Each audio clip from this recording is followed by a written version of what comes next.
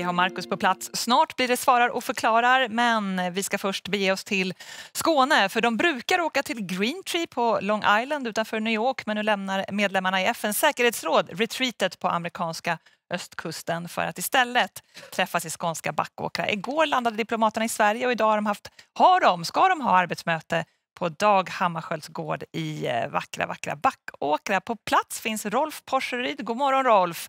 För första gången så väljer alltså säkerhetsrådet en annan plats och då blir det Backåkra. Varför? Ja, en fantastiskt vacker plats. Det är helt enkelt den svenska regeringen och UD som har föreslagit att man ska flytta ut retreaten, som du sa Jenny, från USA till eh, i det här fallet Backåkra. Det är lite kyligt idag men de kommer förstås att mötas, de 15 ambassadörerna med assistenter kommer att mötas och Margot Wallström och Stefan Löfven ska säga också kommer att mötas av lite kylig vind men sol och som värmer upp så småningom och en helt nyrenoverad gård där alla ska kunna sitta avspänt och samtala och försöka komma vidare med den totalt låsta positionen. Ja, det har ju varit väldigt låst i FNs säkerhetsråd, Rolf, eh, på senare tid. Kan man vänta sig något resultat av det här arbetsmötet?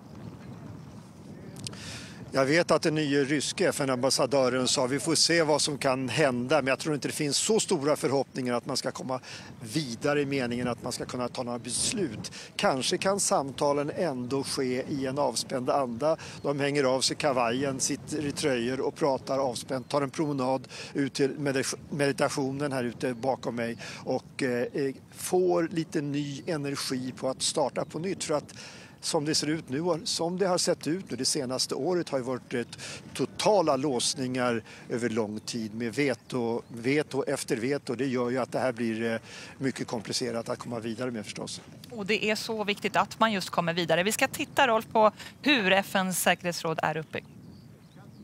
Säkerhetsrådet är FNs mäktigaste organ och har som uppgift att trygga världsfreden, organisera FNs fredsbevarande styrkor och besluta om juridiskt bindande resolutioner och sanktioner.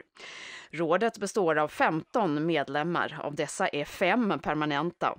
USA, Storbritannien, Frankrike, Ryssland och Kina. De andra tio medlemsländerna väljs in på två år vardera.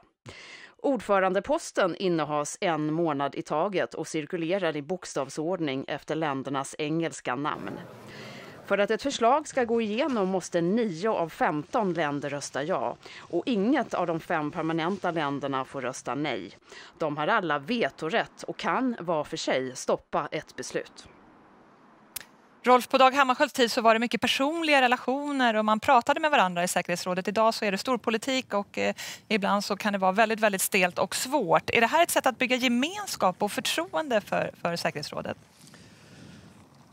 Det är i högsta grad ett försök att göra det. Jag vet att den svenska FN-ambassadören Olof Skog har ju under hela det här första året när Sverige har varit eh, medlemmar i säkerhetsrådet jobbat på att få ner samtalstonen på en mer anständig nivå och delvis lyckades i början men nu har det den senaste tiden varit tillbaka igen med väldigt hårda tag framförallt mellan eh, USA och Ryssland och i enskilda samtal när, när inte tv-kamerorna är på så går det väldigt hårt och eh, vulgärt och oförskämt rent ut eh, vittnar de som har varit med där inne. Så att det här är förstås ett försök att skapa en ny anda, en ny situation där eh, alla som är här kan reflektera över framtiden och möjligen starta lite grann på nytt på ett sätt som man inte har gjort förut. Mm.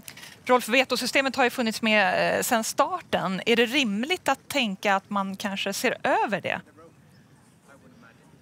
Ja, det har funnits många förslag och finns många förslag om att eh, man ska hålla vetorätten eh, ta bort den för att det, det, har gjort det så svårt och svårjobbat att man inte kommit vidare alls. Men det finns förstås ett stort motstånd mot att, eh, eh, från de stora länderna som har vetorätt nu att gå med på någonting nytt.